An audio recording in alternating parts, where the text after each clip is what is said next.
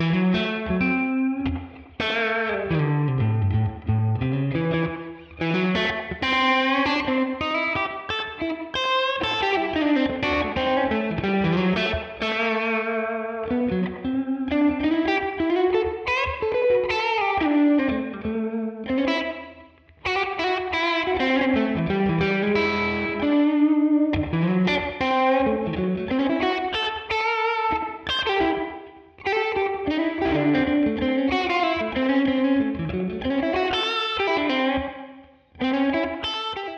buy a guitar plugin, and if I do buy one, what other gear do I need?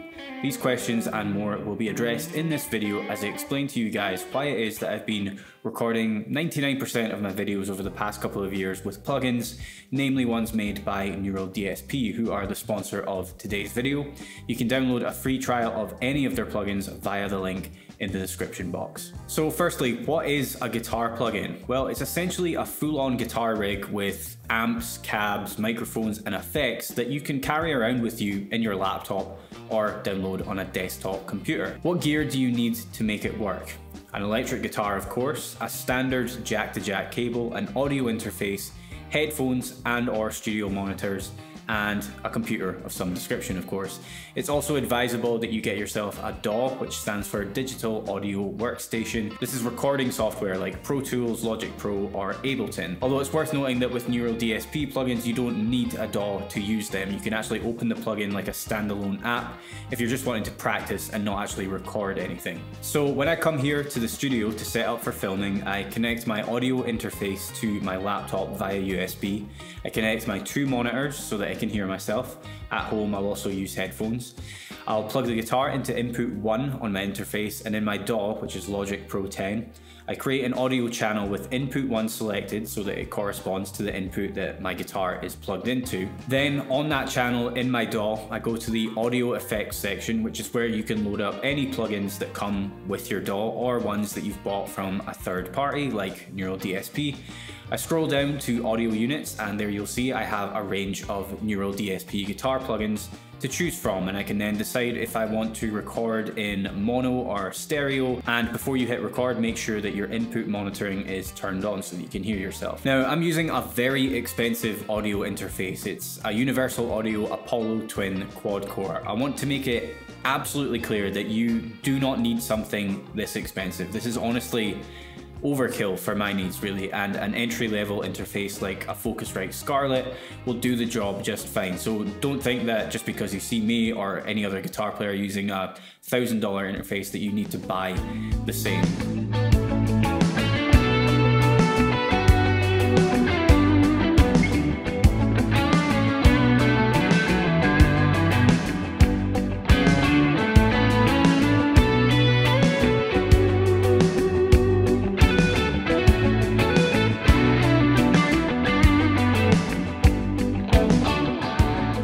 A lot of questions from people asking what type of computer they need to run the plugin with and honestly your best bet is just to literally go check the system requirements on the Neural DSP website. You'll notice that they have minimum and recommended requirements for both Mac and Windows. Plus, you can also get a free trial of any of their plugins, so you can actually try it out on your computer and figure out if it's gonna work or not. Now, I'm not running a particularly super computer here. I'm using a seven-year-old 13-inch MacBook Pro that is not even close to fully specced out, and I'm able to record just fine with it.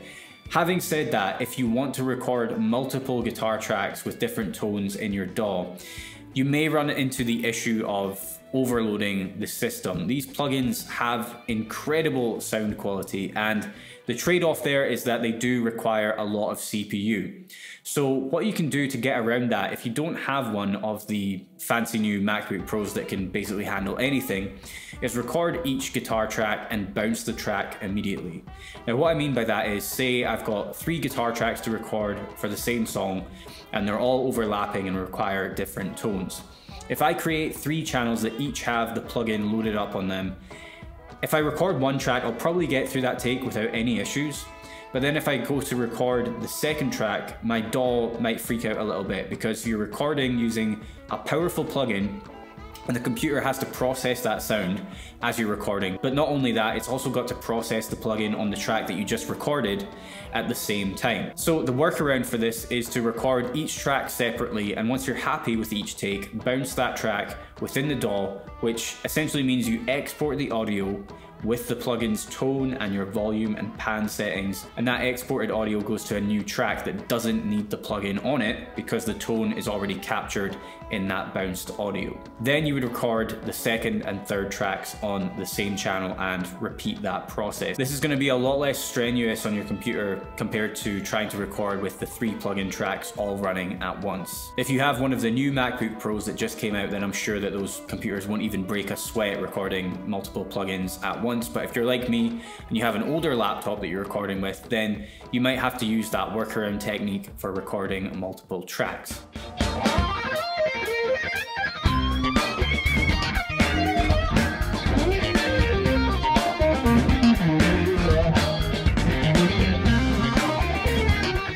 Another question that often comes up is latency. Is it an issue? If you don't know, latency is the lag time between you picking a note and it being processed by the plugin. For me, it's not an issue. I typically record at a sample rate of 48,000 Hz with the audio buffer size set to 128 samples. You'll notice on Neural plugins that the buffer size ranges from 16 samples to something like 2048. Now, the lower number, the less latency you get.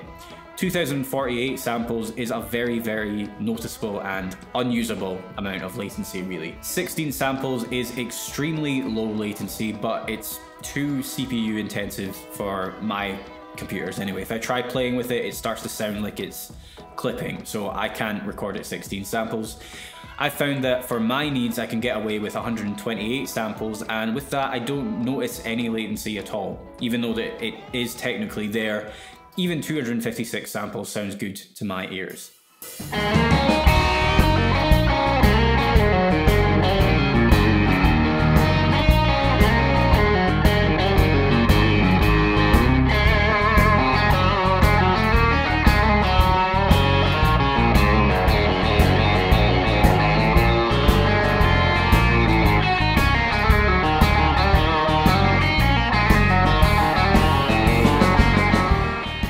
Covered what you need to have gear wise before you can consider buying a plugin.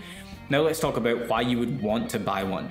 For me, the main reason is simply convenience. If you're traveling anywhere with your guitar, interface, and laptop, that is literally all you need to be able to record studio quality guitar tones instantly. I film in a studio and I have to carry a ton of gear with me to every shoot that we do here. So the fact that I don't have to also carry an amp, microphones, a pedal board, or a modeling unit with me is really handy. Another huge advantage of plugins is how easy it is to reamp a guitar track. So when you record with plugins, you're basically recording a direct signal from your guitar and interface, which on its own sounds like nothing really. It sounds very, very dry. If I play a recorded track for you using the Tone King Imperial Mark II plugin from Neural, Here's what that sounds like.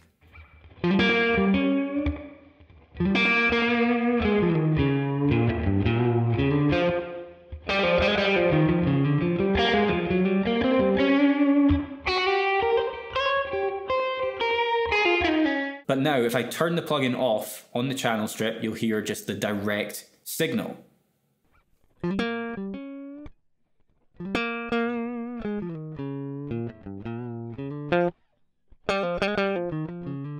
Now